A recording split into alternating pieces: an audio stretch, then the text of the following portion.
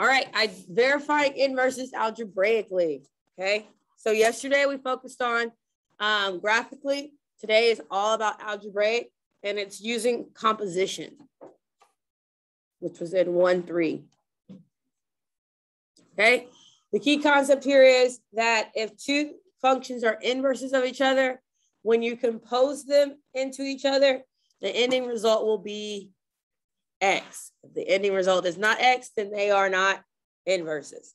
So when I plug one function into another, after I combine like terms and simplify, I get down to X, then they are inverses. So to start off, so for example, the question is, if we have f of x equals 1 fourth x plus 3 and g of x equals 4x minus 12, the question is, are they inverses of each other? So to test that they're inverses, we're going to use composition. So remember, this is composition. Okay, this was from our 1, 3 C notes. Okay, composition means you're plugging something inside of something, right? The difference here is instead of having a number, we have a whole function. So we're literally just taking all of g of x and plugging into f of x. So we are composing. So wherever x used to be is now going to become 4x minus 12. So I'm going to replace x with 4x minus 12. So this used to be x.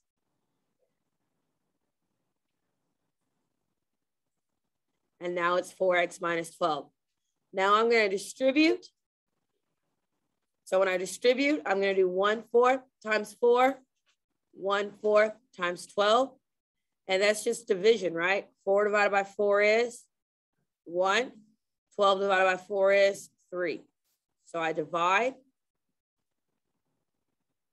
I combine like terms. So I have negative 3 and positive 3. And they're going to do what? They're going to cancel each other out, right? And I'm just left with X.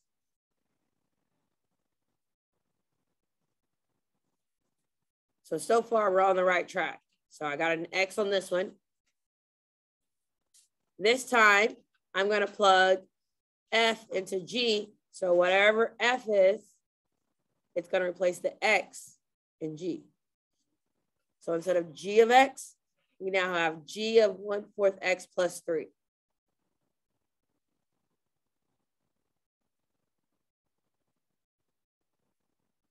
So this is my new value of X.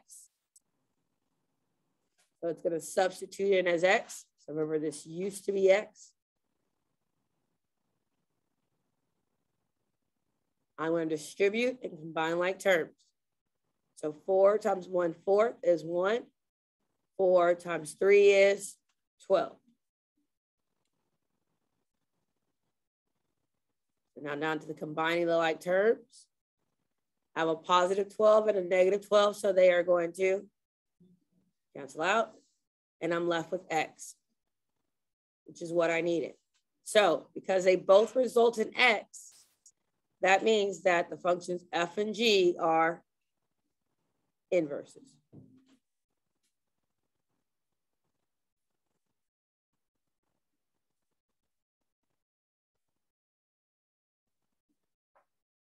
Okay, so that's how you verify inverses algebraically.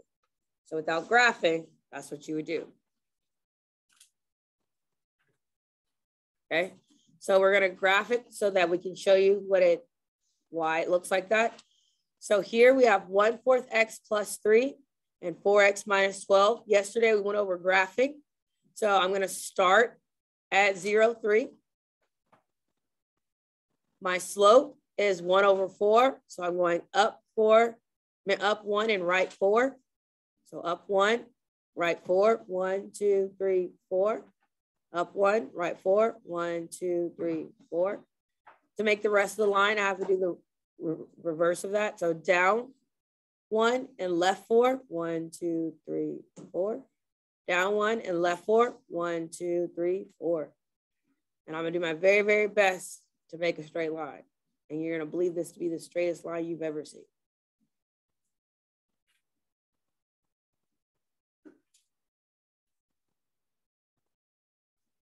Okay, so now I'm going to do g of x. g of x this time starts where?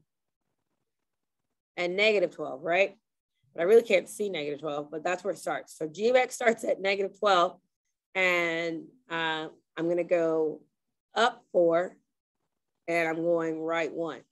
So if I start all the way down here at negative 12, we're going to do a, a little guesstimation of where negative 12 is to the best of my ability. It's off of here. So I'm going to start here. I'm going to go up one,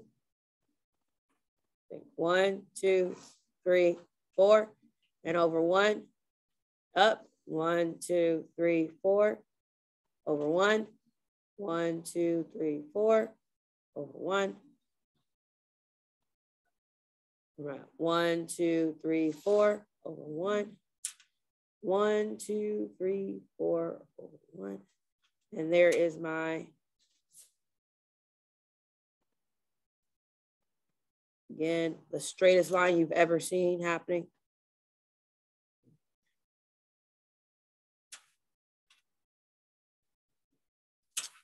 All right, so I have both graphs drawn. And yesterday we talked about how to check that they are inverses. So the key things that you're checking for um, are do they intersect on the y equals x line? Remember the y equals x line is the imaginary line along y equals x, which is when you have one, one, two, two, three, three, four, four, five, five. So it's my imaginary. I guess I could have made it dashed. I don't know why I made dots. My bad.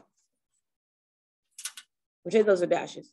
And so first thing I check, do they intersect on the y equals x line? Yes, they do. Do all the other points appear to be the same distance from each other? Yes. So therefore these are inverses, which we already had proven algebraically. So this is just proving graphically that yes, f of x and g of x are inverses.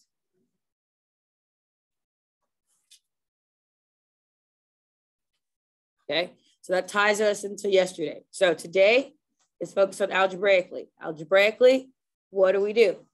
We use composition substitute in functions, and simplify.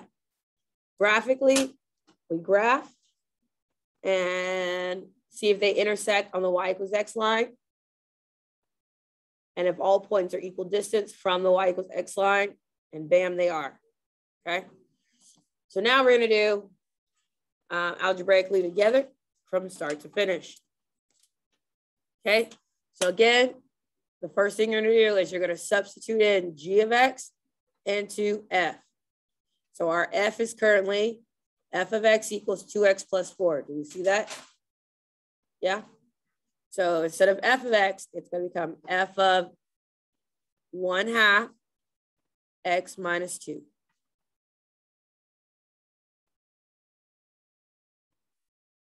So what that means is where x is, I'm now substituting in this whole thing.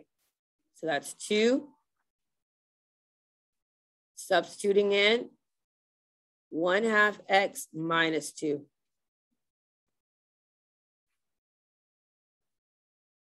Plus 4. So we're going to distribute. Did you check in? Because I counted you absent, so I hope you checked in. All right, so we're going to distribute. And that's going to give us half of 2 is 1. 2 times negative 2 is negative 4. We're going to bring down our positive 4. Combine like terms. They cancel, and we're just left with x, which is a good start.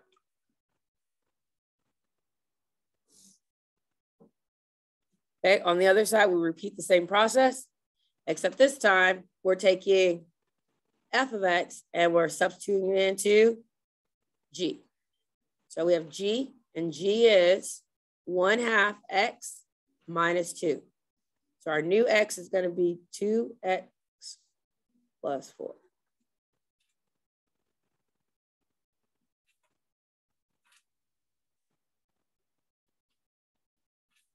So that gives us 1 half, and we're substituting in 2x plus 4 for x. So 1 half 2x plus 4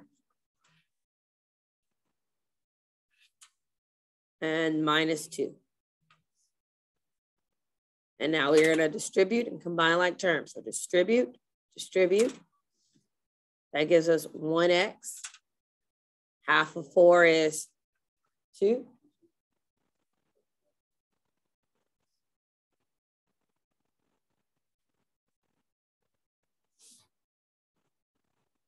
And these are to cancel out, and we're left with x. Bam. So since both of them equal x, that means that these two functions are inverses.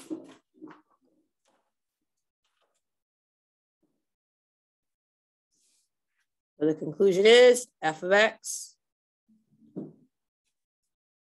and g of x are inverses.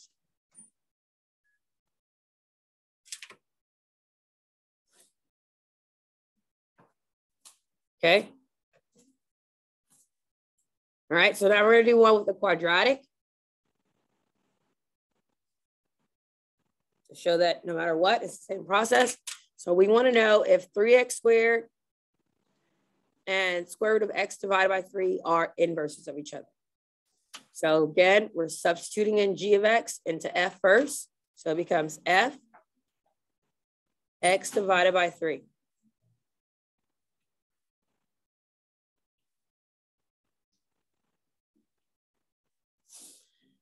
Okay. So where x is, it now becomes the square root of x divided by 3. So we have 3. And we're substituting in square root of x divided by 3 squared.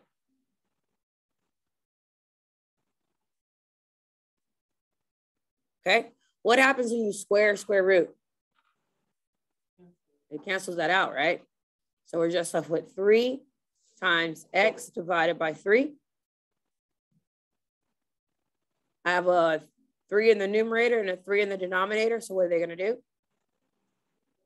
They cancel, they equal 1. And I'm just left with x. So, so far, good sign. So this time we're going to take f of x and substitute into g, putting a function in a function here.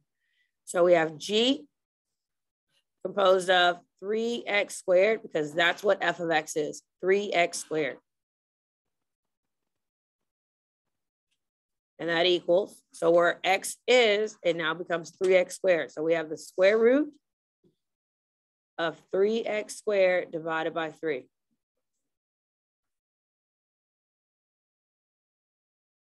All right, what happened to the threes? They cancel out and I'm left with the square root of x squared. What happens when you take the square of a square root? It cancels, it just becomes x. So therefore these two functions are inverses.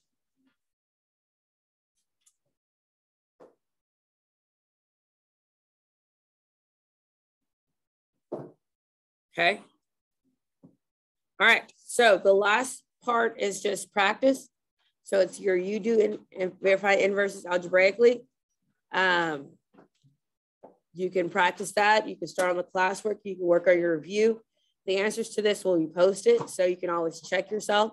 Um, but the remaining 20 minutes is up for you to use however you need to use. Does that make sense? So if you need additional practice, you want to start on the classwork on Canvas or work on your review for your test.